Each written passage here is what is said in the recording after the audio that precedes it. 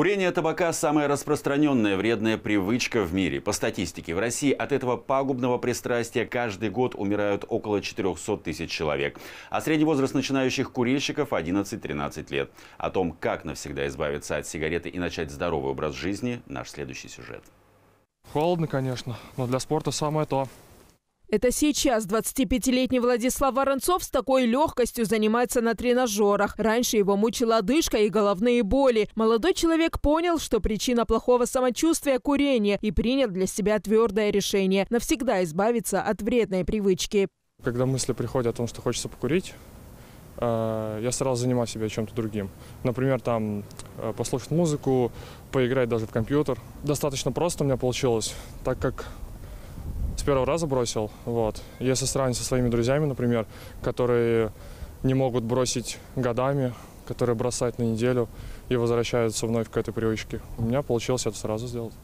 А вот Артему Саркисову о такой силе воли только мечтать. Рука так и тянется за пачкой сигарет. Каждый день начинается с курения и заканчивается так же. Попытки бросить пагубное пристрастие были, но не заканчивались успехом.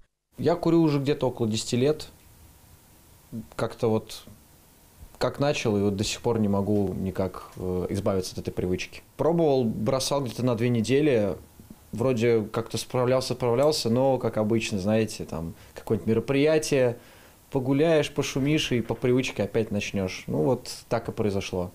Заядлый курильщик признается, что хотел бы навсегда избавиться от сигарет. Несмотря на молодой возраст, он уже ощущает негативное воздействие табака на здоровье. Но повышенное давление Артем обычно ссылал на усталость. Как выяснилось в беседе с врачом, это тоже побочный эффект сигарет. Нам нужно бросать курить. Врач предупредил, если этого не сделать сейчас, последствия в дальнейшем могут быть печальные. Повышенное давление приводит к инфаркту или инсульту.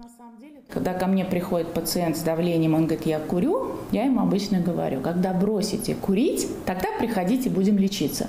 Потому что смысл наш – это расширить сосуды, они каждой сигаретой сосуды сужают. И поэтому смысла в лечении нет. Чтобы никакого лечения и вовсе не понадобилось, Артем сразу после приема терапевта сделал первый и основной шаг. Бросил в урну пачку сигарет и пообещал себе, что на этот раз навсегда. Луиза Игиазарян, Сергей Гвоздев, телеканал ЛРТ.